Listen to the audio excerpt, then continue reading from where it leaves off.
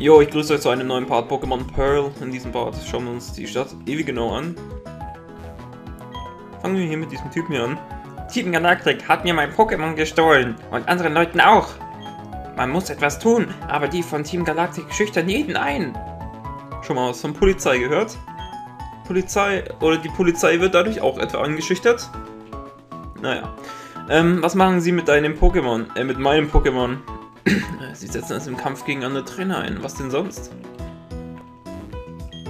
Wenn ein Pokémon kampfunfähig ist, dann bezieht sich das nur auf den Kampf. Es kann immer noch VMs außerhalb eines Kampfes anwenden. Ja, genau. Hallo kleiner Trainer, welche Pokémon hast du denn dabei? Oh, dein Pirp Plibren. Es scheint dich zu mögen, es ist gerne bei dir. Ja, von der haben wir im letzten Part auch das Zusatzset bekommen für unseren Poketch. Gut, die Karte müssen wir uns, soweit ich weiß, nicht anschauen. Die haben wir uns auch schon im letzten Part angeschaut. Ja, Aufnahmezeit ist 19.16 Uhr, das heißt, es ist ein bisschen dunkler als sonst. Hey, du da! Ja, du Trainer, du! Ähm, schon gut, du siehst zäh aus. Ich werde dir deine, du kannst deine Pokémon behalten. Ah ja, okay, das ist der Typ, der den, ihren, der den Leuten ihre Pokémon klaut. Haus des Untergrundmannes, tiefgründige Abenteurer. Oder Abenteuer. Was auch immer. Moment, ich trinke mal schnell ein Stückchen. So, okay. Ich bin der Erste, der im Untergrund Tunnel gegraben hat. Man nennt mich den Untergrundmann, also nennst du mich auch so. Ich habe ein Geschenk für dich. Setze es mit Verstand ein. Ein Forschersack. Okay. Dieser Forschersack bringt dich in den Untergrund, wann immer du willst. Du musst ihn nur verwenden und schon bist du in den Tunneln. Der Untergrund ist eine ganz andere Welt. Dort kannst du dies, das und jenes tun. Lass dich überraschen. Ich kann dir beibringen, ein guter Höhenforscher zu werden. Und, bist du interessiert? Nee. Ich hatte gehofft, dir mein Wissen, bla bla bla. Ja, genau, meine Entscheidung. Bleib auf deinem Untergrundzeug sitzen. So, die, äh, die Tunnel im Untergrund führen überall hin. Besuche sie mit deinen Freunden, indem du die drahtlose DS-Datenübertragung verwendest. Habe ich noch nie benutzt, werde ich auch nicht hier verwenden, weil mich das nur interessiert. Auf zu den Schätzen. Ich bin aus Erzelingen. Ich arbeite dort im Bergbaumuseum. Der Untergrundmann hat mir Tipps gegeben, wie man Schätze und Sphären ausgraben kann. Also im Untergrund kann man auch Fossilien finden, soweit ich weiß. Allerdings habe ich, es, hab ich es noch nie geschafft, eines zu finden. Und ich weiß noch nicht so richtig, wie man das im Untergrund alles so macht. Naja, ist auch nicht so wichtig. Und bevor ich loslege, gebe ich dir einen Tipp an dich weiter. Während deines Grabens siehst du manchmal dunkle Steine, sie sind hart, bla bla bla. Nicht so wichtig. Ach, euer Fernseher läuft, ne? Ein, ein Buch. Der Titel lautet Wissenswertes über den Untergrund. Welche Seite willst du lesen? Gar nichts, denn ich interessiere mich nicht für das. So, ähm... Ja, hier waren wir schon. Hier ist ein Team Galactic Fuzzi. Hast du unser Gebäude schon gesehen? Wir Team Galactic sind so stinkreich, dass wir 10 Stück davon bauen könnten. Aha, okay. Leistet euch erst einmal bessere Pokémon und dann baut euer Haus auf. So, und hier ist ein Fahrradgeschäft, aber zuvor spreche ich noch diesen Typen hier an, der hier steht. Mein Freund sagt, Team Galactic hätte ihn sein Lieblings-Pokémon gestohlen. Ich glaube, er lügt. Die Mitglieder von Team Galactic sehen so cool aus. Sie würden so etwas nie tun. Ja, stimmt, das sind die liebsten Menschen der ganzen Welt. So, hier ist das Fahrtgeschäft. Radl Reyners Radladen. Schnell und zuverlässig. Man sagt, es sei eine uralte Stadt, aber man sieht ihr es nicht an. Schau nur, all diese hohen Gebäude. Ja, stimmt. So, hier sind auch ein paar Fahrräder. Schau mal im Radgeschäft vorbei, vielleicht bekommen wir ein Fahrrad. Der Mensch ist zum Gebäude des Team Galactics vorgegangen. Aber er ist noch nicht zurück. Was hält ihn nur so lange auf? Oh Gott, er wurde bestimmt gekidnappt oder sowas ähnliches. So, ich möchte gerne ein Rad kaufen. Bist du der, ähm, der Sohn von dem oder... Ich weiß auch nicht. Hm, so, dann äh, übernehmen wir mal das Geschäft hier. So, schauen wir mal uns die Registrierkasse an. Aha, keine neuen Einnahmen, okay. So, warten wir mal auf Kunden, die kommen.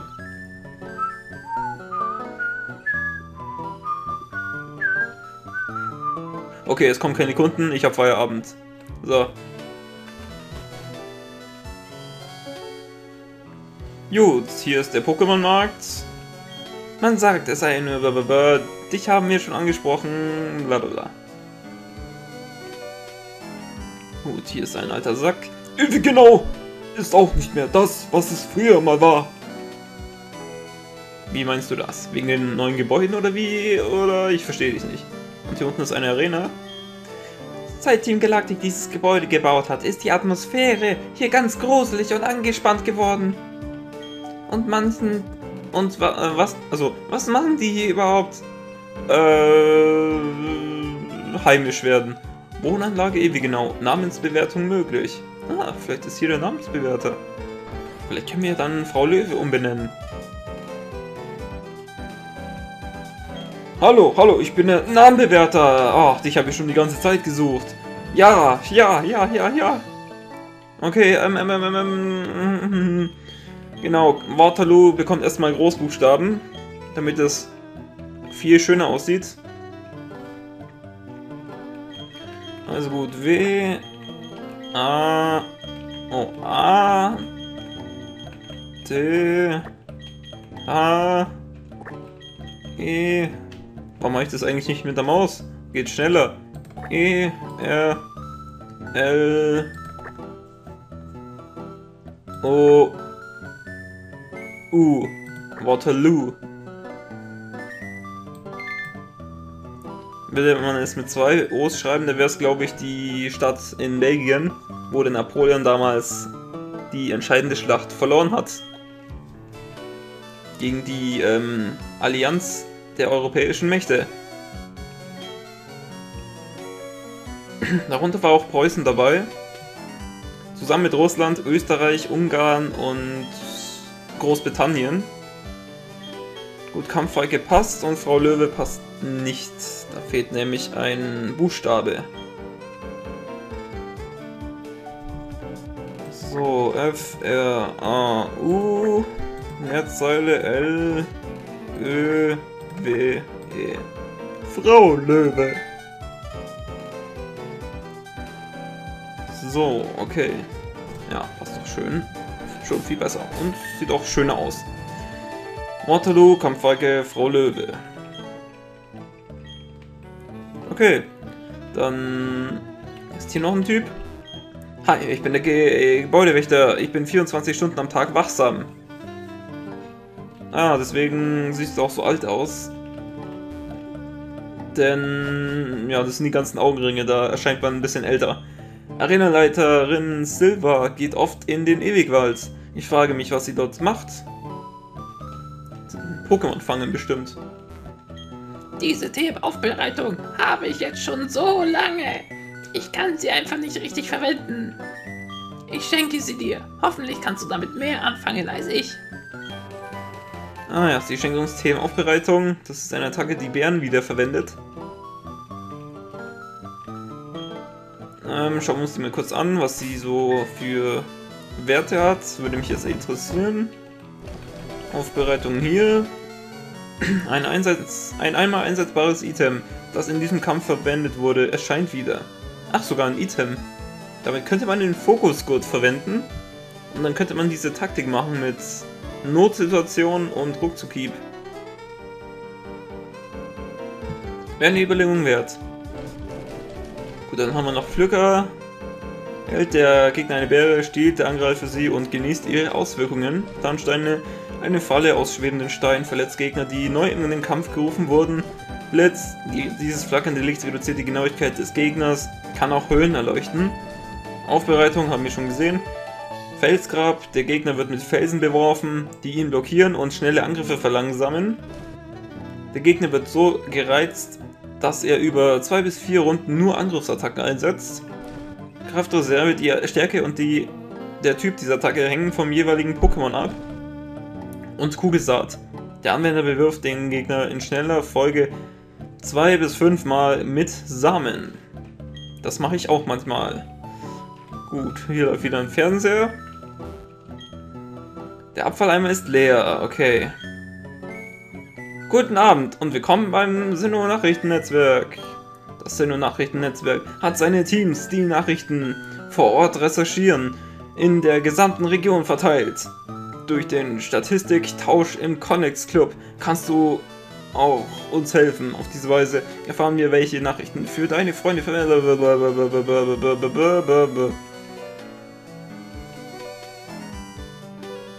Gut, hier geht's nach oben. Ich habe viele Bären gesammelt und tausche sie gegen Accessoires. Ich bin so fast, ich bin fast so weit gekommen, dass ich den Wettbewerb in Herzhofen gewinne.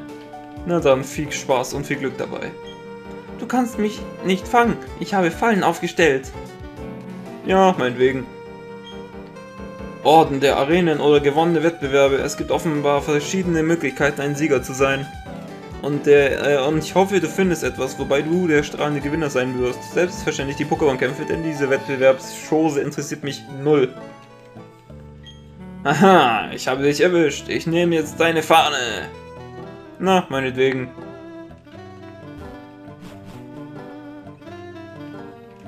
So, ähm, dann verlassen wir dieses Haus. Wir haben in diesem Haus zwei gute, also ein, ja, zwei gute Sachen hier ähm, gefunden. Einmal den Namenbewerter und andermal eine TM-Aufbereitung. Also man sieht, es lohnt sich, die Stadt zu erkunden. Auch wenn man nicht sonderlich Lust hat manchmal. Ich muss dir was erzählen, im Ewigwald hatte ich riesige Probleme. Von jetzt an nehme ich immer einen Fluchtseil mit, das ist sicherer. Ja, gut, wenn du ein Fluchtseil brauchst, sammelst du mehr Orden, gibt es in den Pokémon-Supermärkten bessere Items. Das haben wir auch schon bemerkt. So, schauen wir mal nach. Wir haben jetzt einen Orden. Ah ja, genau, wir haben es ja schon angeschaut, was wir neue Sachen bekommen haben. Das muss ich noch nicht nochmal anschauen. Und wieder nutzlose Briefe und ein paar gute überteuerte Bälle. Aber sonst gibt es hier nichts Nützliches. Gut, gehen wir weiter nach Süden. Hier ist die Arena. Wenn du ewig, in, ewig genau besuchst, musst du dir ein Fahrrad besorgen und den Radweg entlangfahren. Gut, kommen wir hier an dir vorbei oder lässt uns nicht durch? Ah, die lässt uns sogar durch, okay. Mit dem Forschersack ist es aufregend, den Untergrund zu erforschen. Aha. Ja, finde ich jetzt nicht so, aber gut, jeder das seine. Oh, ein leeres Haus. Stehen wir die Möbel. Hier, den Tisch nehme ich zuerst mit. Hm. Gut, ähm, hier ist die Arena, da schauen wir später vorbei. Gut, können wir hier nach Süden gehen? Ist das möglich? Anscheinend schon. Kevin, lange nicht gesehen. Oh, du siehst so erstaunt aus. Du fragst dich, wer ich bin? Äh, ja. Spionierst du mir nach? NSA! Der Typ ist NSA! Schnappt ihn! Ich bin der Assistent von Professor Elbe und der Vater von Lucia. Auf Wunsch des Professors bin ich hierher gekommen, um dir bei deinem Abenteuer zu helfen.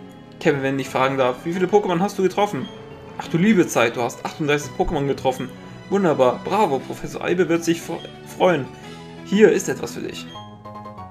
Der EP-Teiler, okay. Ein Pokémon, das einen EP-Teiler hält, erhält EP-Punkte aus Kämpfen. Und zwar selbst dann, wenn es gar nicht am Kampf teilnahm. Ein EP-Teiler ist sehr hilfreich, um schwache Pokémon aufzuziehen. Und ein Tipp.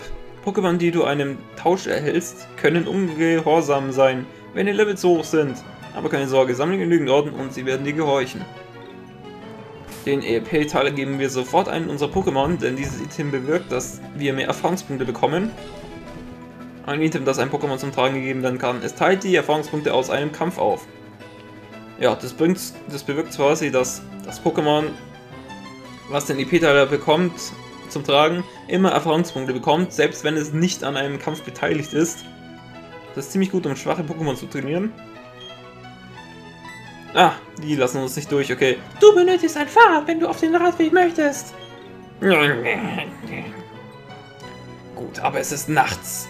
Später komme ich vielleicht nochmal vorbei und dann sind sie abgelenkt. Und dann komme ich an die vorbei, ohne ein Fahrrad zu besitzen.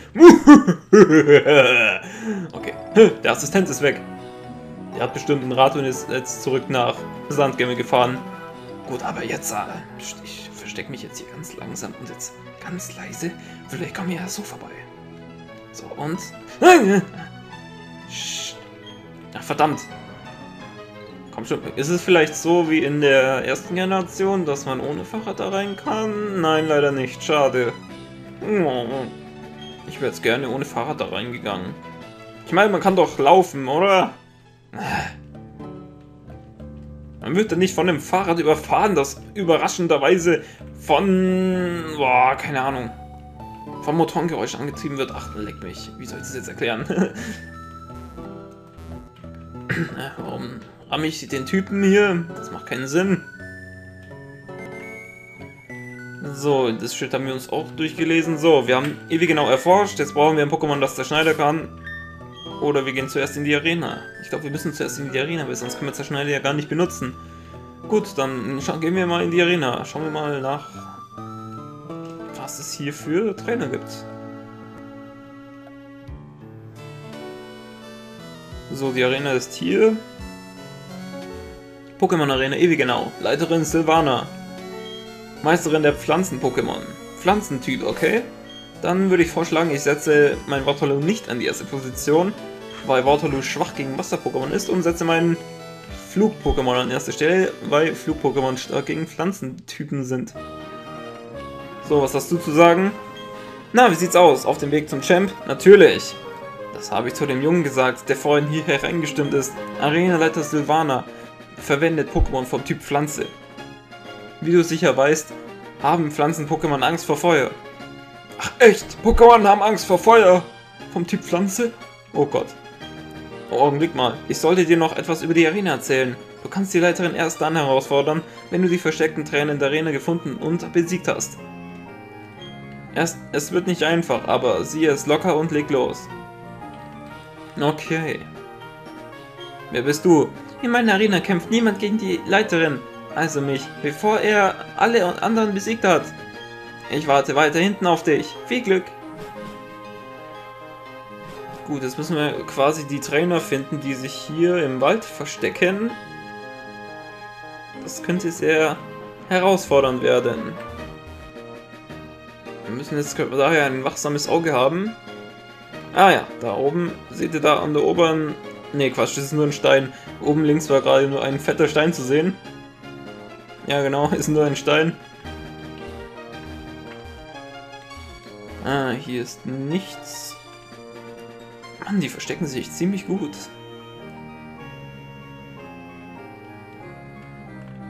Aber hier vielleicht? Hier drin? Hier ist vielleicht da? Nein, hier ist nichts. Ah, verstecktes Item! Ah, verdammt. Hier ist auch nichts. Hier vielleicht? Nö, aber vielleicht dort. Nein, hier ist auch niemand. Ähm, aber hier vielleicht? Ne, auch nichts. Komisch. Ah, hier ist einer. Ich hab dich. Haha. Gefunden. Woher wusstest du, wo ich bin? Also gut, kämpfen wir.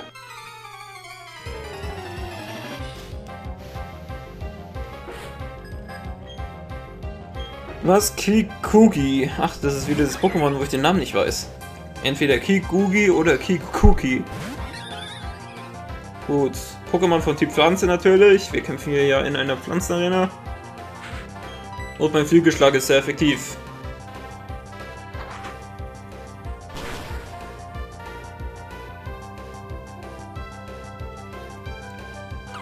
Alles klar, das war ein One-Kill, ganz wie erwartet. Und Level 21? Na, fast. Waterloo bekommt Erfahrungspunkte, weil es den Erfahrungspunkte-Teiler trägt. Nein, Pokémon nicht austauschen. Ah, ein Roselia. Die Entwicklung von, äh, wie heißt das Pokémon? Name vergessen, ist ein Pokémon aus der vierten Generation. Und deswegen kenne ich den Namen nicht so gut, weil ich die vierte Generation nicht so häufig gespielt habe.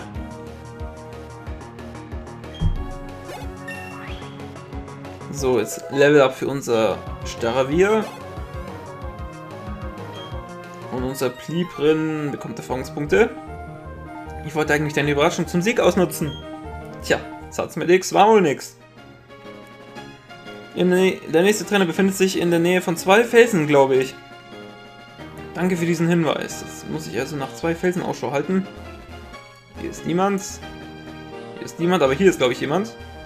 Nee. Aber da unten ist jemand. Ah, ich habe dich genau gesehen. Genau du, genau du. Meine Platz-Pokémon sind stark. Du wirst nicht gewinnen. Denn ich mache es dir nicht einfach. Ach ja? Das werden wir doch mal sehen. Petra.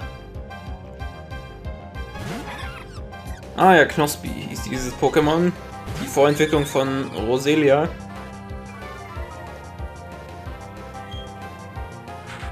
Okay, äh, Flug, Fluggelschlag, ja. Flugschlag. Flügelschlag. Und ein One-Hit-Kill. Das nächste ist bestimmt wieder ein Knospi und ihr drittes ist das Roselia. Jawohl, Knospi Nummer 2 und danach kommt Roselia. Prognoserweise werde ich das jetzt mal sagen. Oder prognostischerweise werde ich das jetzt mal sagen. Noch komplizierter formuliert. Und One-Kill natürlich. Jawohl. Blöde Baby-Pokémon. Die kann man leicht besiegen.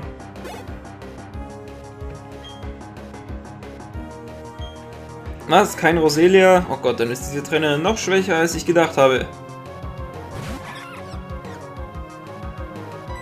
Na gut, Flügelschlag.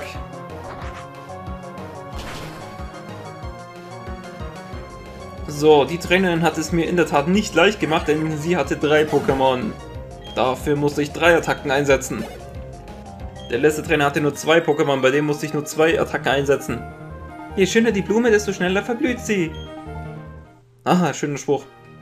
Ach, natürlich, der Hinweis zum nächsten Trainer. In der Mitte der drei Bäume, das sollte reichen. Viel Glück. Ich glaube, die haben wir schon bekämpft. Ja, das müsste die hier oben sein. Ne,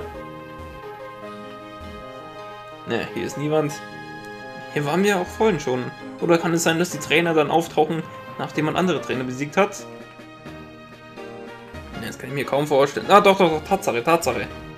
Dieser Trainer hier, der hier steht, der war vorher nicht da. Auch wenn du es versuchst, du kannst den Geruch der Blume nicht verbergen. Ja, das stimmt. Ah, sie hat nur ein Pokémon, das müsste ein schneller Kampf sein. Ach, sie hat einen Starter, den Pflanzenstarter von Sinnoh, Jellas hätte sich auch schon längst entwickeln können. So, Flügelschlag. Und dass es ein One-Hit-Kill wird, glaube ich, muss ich nicht äh, extra erwähnen. Unser Pokémon hat 4 Level mehr und den Typenvorteil. Und da ist noch Step drauf auf dieser Attacke. Sie ist sehr effektiv. Und Waterloo hat jetzt Level 20 erreicht. Deine Fähigkeiten lassen auch nicht verschleiern oder so ähnlich. So schnell kann ich nicht lesen. Der nächste Gegner wartet neben vier Blümchen auf dich. Benjamin Blümchen ist es bestimmt. ah, bestimmt hier rechts, ne? Ich glaube, ich sehe ihn schon.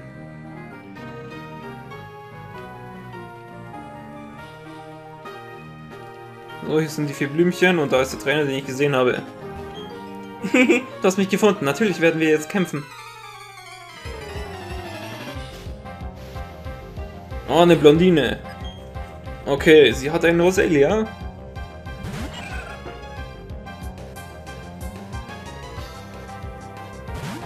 Aber ihr Pokémon ist weiterhin nicht besonders stark. Nur Level 17. Wenn man ihre Pokémon mit unserem vergleicht, ist das schon ein Witz. Und ich habe mich vertippt. Verdammt. Vielleicht sollte ich die A-Taste, äh, nicht die A-Taste benutzen, sondern besser die Maus. Die Maus, die seht ihr ja sowieso nicht. Nein! Verdammt! Warum musstest du dich jetzt vergiften lassen? Ah, ich hätte mich nicht vertippen sollen, das ist jetzt mein Verschulden. Jetzt kann es zwar sein, dass ihr mein Mausgeklicke hört, aber ich glaube, es ist viel nerviger, wenn ich mich vertippe. Oder? Hört ihr das? Vielleicht ein bisschen. Naja, dann benutzt die Maus nur bei Pokémon-Kämpfen und sonst muss ich ja eh gezwungenerweise mit dem Pfeiltasten hier agieren. Ah, ich habe auch kein Gegengift, oder? Medizin? Ah, doch. Perfekt. Da muss ich nicht extra zurück ins Pokémon Center laufen. Nein, verdammt. Das wollte ich nicht. Ich habe die falsche Taste mal wieder gedrückt. Jetzt habe ich A statt B gedrückt. So, jetzt drücke aber B hier. B, B, renn, na los, renn um dein Leben. Renn, du sollst rennen, bitte renne. Danke. So, hier ist die Rennleiterin Silva. Ich habe ja schon mal Pflanzen-Pokémon unterschätzt, und zwar in der ersten Generation. Damals habe ich gegen Erika verloren. Hoffentlich ähm, passiert mir das nicht nochmal. Denn damals habe ich meine Pokémon auch nicht geheilt im Arena-Kampf, nachdem ich die ganzen Trainer besiegt habe.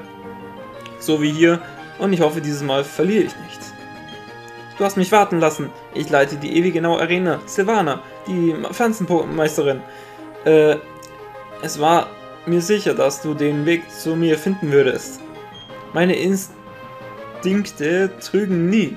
Du hast die Aura eines Gewinners. Das wird ein Spaß. Lass uns beginnen. Okay, los geht's. Kämpfen gegen Silvana. Kampf um, um unseren zweiten Orden. Das erste Pokémon von ihr, Kikugi. Das Pokémon kann auch eine andere Form annehmen, und zwar, wenn ähm, Sonnentag, also wenn die Sonne scheint quasi. Wenn eine Sonnenattacke, Sonnentag-Attacke benutzt wurde. So, es hat ein stärkeres Level als alle Pokémon der Trainer hier in dieser Arena.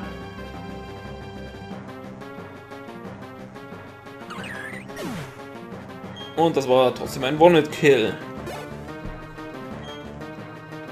Gut, das nächste von ihr, der Pflanzenstarter aus Sinnoh, Cellast. Gegen dieses Pokémon haben wir vorhin schon gekämpft. Das hatte allerdings nur Level 17, dieses Cellast hat Level 19.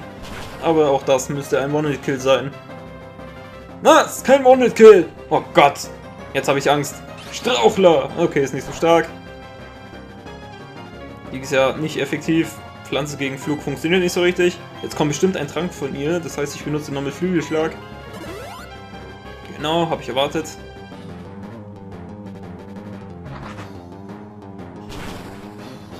Warum ist jetzt Chellas eigentlich männlich? Normalerweise setzen ja Trainer immer die Pokémon ein, deren ähm, Geschlecht der Trainer hat. Oder ist Sylvanas etwa ein Mann? Oh mein Gott. Und Roserade, die Entwicklung von Roselia. Das Pokémon bekommt man, wenn man einen Roselia einen äh, Lichtstein, soweit ich weiß, gibt. Es hat Level 22 und ist ein würdiger Gegner für unser Flug-Pokémon. Ich benutze Flügelschlag. Ah, Stachelspore, verdammt! Meine Initiative ist weg! Nein! War wie gemeint von dir. Egal, ich habe den Typenvorteil an meiner Seite. Sie hat trotzdem keine Chance. Ha! Siehst du, siehst du, siehst du? Was ist das? Irgendeine Beere?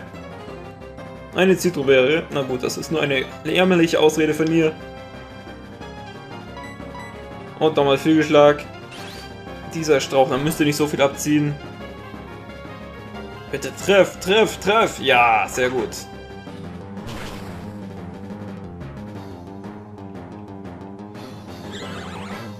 Sehr gut. Wir haben unseren zweiten Orden. Und können jetzt VM1 Zerschneider benutzen. Und können damit auch in das Hauptgebäude von Team Galactic.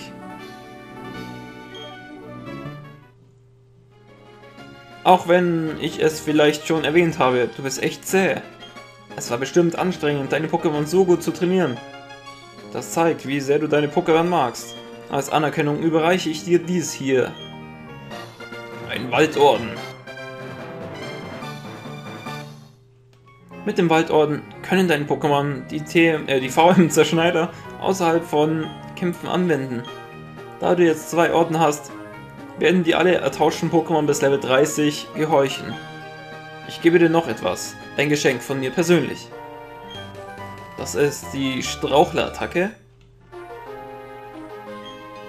Diese TM86 beinhaltet die Attacke Strauchler. Eine meiner Lieblingsattacken. Je schwerer der Gegner ist, desto mehr Schaden nimmt er dabei. Eine perfekte Attacke gegen Onyx zum Beispiel. Bei Onyx, der ziemlich schwer ist.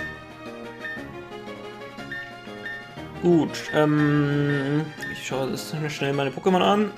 Okay. Jetzt muss ich schauen, welches unserer Pokémon zerschneiden kann. Und wenn wir kein Pokémon haben, was zerschneiden kann, dann muss ich eins im nächsten Part fangen. Ah, Waterloo. Ah, perfekt. Haspiora kann Zerschneider. Gut, dann muss ich keinen Pokémon extra fangen. Ähm, ich verlerne Gesichter.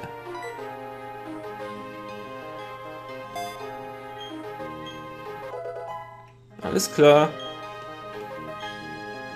Gut, dann verlasse ich die Arena und gehe dann ins Pokémon Center und dann schauen wir uns im nächsten Part an, was Team Galactic in ihrem Gebäude so für Sachen geplant hat. Wir können jetzt äh, in das Gebäude, da wir jetzt äh, VM1 auch außerhalb eines Kampfes anwenden können, da wir jetzt unseren zweiten Orden haben. Ach ja, stimmt, schauen wir uns den einfach mal an. Unser anderer Orden müsste ja inzwischen schon verschmutzt worden sein. Ja, so sieht er auch aus. Moment. Polieren wir uns den mal hier richtig blank.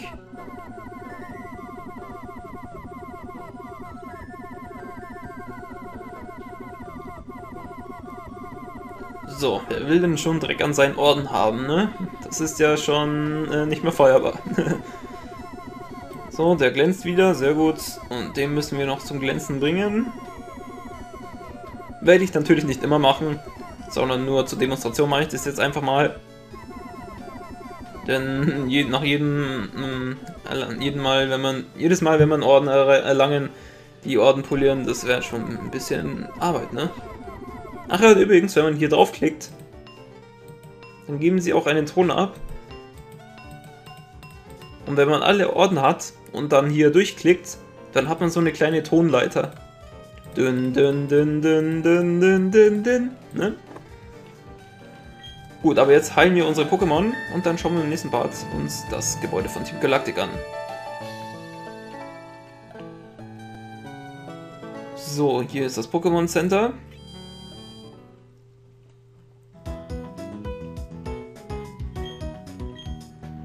Dum, dum, dum, dum, dum, dum, dum. Okay, unsere sechs Pokémon sind jetzt geheilt. Jetzt stelle ich mich noch vor dem vor das Gebäude hin, damit wir im nächsten Part direkt loslegen können.